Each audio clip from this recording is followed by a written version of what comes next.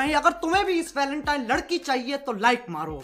और अगर तुम लोग नए हो तो सब्सक्राइब करो। वो जो लाल वाला बटन है, उस पर जितनी हवस निकालनी है, उतनी हवस निकालो। मुझे नहीं पता, बस क्लिक हो जाना चाहिए। अब मैं भी जा रहा हूँ यार, कुछ उखाड़ लें यार, ज़िंदगी में कुछ कर ले, हैं? बाय